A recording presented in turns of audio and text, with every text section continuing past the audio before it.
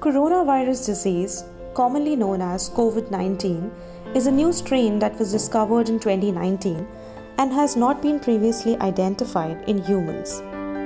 Coronavirus is known to spread via air, by touching contaminated objects, or animal or human contact. Common signs of infection include headache, fever, cough, shortness of breath, and sore throat.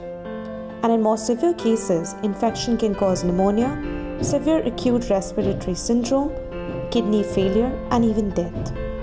Standard recommendations to prevent infection include wash your hands regularly, avoid touching your face, maintain at least 1 meter distance from others who are sick, and if you're feeling sick, stay at home. Avoid using public transport, avoid public places and gatherings, do not ignore the symptoms.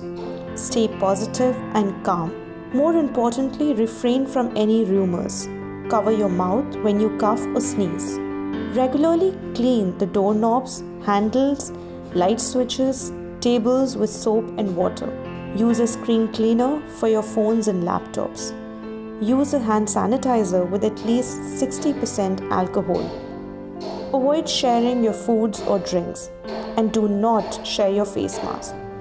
Most importantly, do not panic and stay safe, everyone. Thank you.